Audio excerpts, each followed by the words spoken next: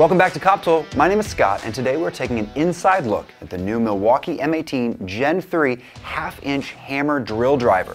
First announced at NPS 18, this third generation hammer drill driver claims to be the strongest drill on the market, utilizing Milwaukee's Power State brushless motor and offering 1,200 pounds of torque at 2,000 RPMs.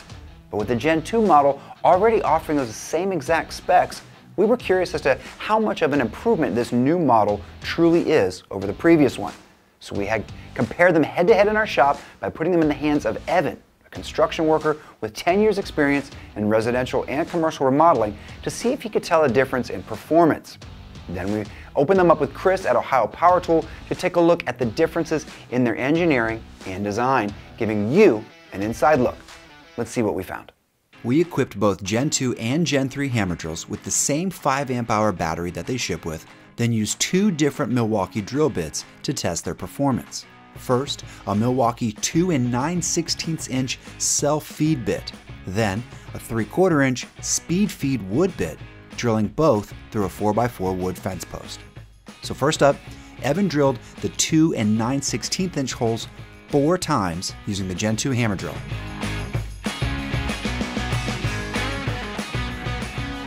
No problem for the Gen 2 model as Evan averaged 13.2 seconds per hole. Then he drilled the same four holes using the Gen 3 hammer drill. The Gen 3 averaged only 11.6 seconds per hole, over one and a half seconds faster than the Gen 2.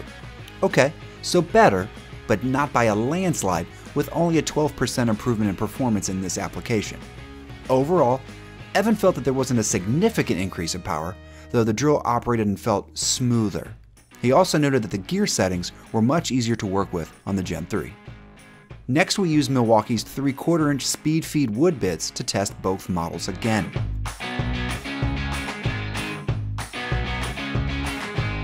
The Gen 2 model averaged 6.8 seconds per hole, followed by the Gen 3 averaging 6.3 seconds per hole. So again, it's a similar outcome. The Gen 3 was a half a second faster, just a 7% increase in performance this time around, and again handled more smoothly than the Gen 2. But again, faster just by a little. So, experiencing a small increase in power and performance, we took both models to the Ohio Power Tools repair shop to visit Chris again, where he opened up both models to take a look at the differences in engineering and design. Here's what Chris found. Okay, we've got the Gen 2 2017 model on the left. Go ahead and pop the body off of it. And then our 2018 Gen 3 on the right. Just observing things inside that are different. Overall, they're trying to get smaller with these guns to make them more compact, which is completely understandable for the, the market that it's in. Um, you can see little subtle things like they've Frenched this rear bearing into this rotor on the Gen 3 which gives you a flat cap on the back. And on the Gen 2, that bearing sticks out and you have a rounded cap. So that's just kind of an idea of how they've shaved some of the, the length down. The gear case is smaller. The actual motor housing is smaller. So with the RedLink technology, somehow they are squeezing more power out of these lithium batteries and the actual uh, PCB assembly to where they can make these windings smaller and the gear case smaller. I mean, they've changed out the lay of the gear, the gearbox. This chuck is totally different.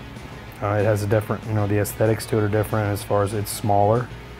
See on there. There's little things like they've moved the, you can see the LED light on the Gen 2 is up here mm -hmm. by the work.